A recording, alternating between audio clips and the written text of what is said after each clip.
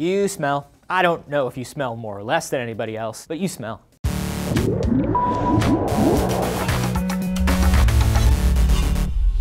Anthony here for DNews, and hey, I did not, I didn't mean it as an insult, man. I'm sorry. It's totally cool. It's just part of being a living thing. We all smell, and we actually all smell different. It might be hard to tell on a city bus or in a crowded locker room, but your brain definitely picks up on it. So much so that you tend to favor people and things that smell differently than you do. See, we're all covered in these molecules called major histocompatibility complex proteins.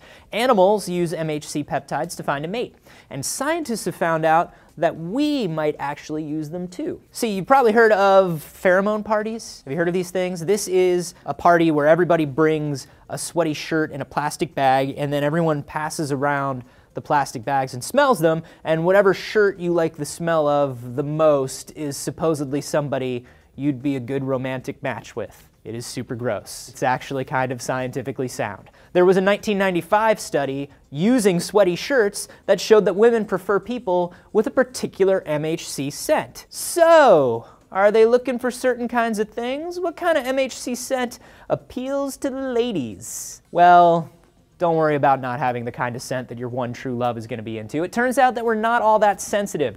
We're just basically looking for something that doesn't smell like us. As a follow-up to the stinky shirt study, scientists tested different scents and perfumes on people, and some of them had their own MHCs mixed in, and the ones with their own MHCs triggered a response in one region of the brain, and all the different smelling MHCs triggered another one. The idea here is that you're probably choosing perfumes or deodorants for yourself that are amplifying and working with your own subtle smells to make them stronger, but you won't like that scent on a potential mate. So, how do you make this work for you, other than having to go to a sweaty t-shirt party? Well, you're probably creepily sniffing your crush anyway. Just take note of the scent and then try to wear something that smells as different from it as possible. And do not get caught smelling them, for God's sake. I have made that mistake one time too many. Have you noticed a particular smell that you're into? I'm kind of into vanilla. Does that mean I smell like chocolate? Subscribe, and we will see you tomorrow. What is the opposite of vanilla? Like raspberry? Neapolitan?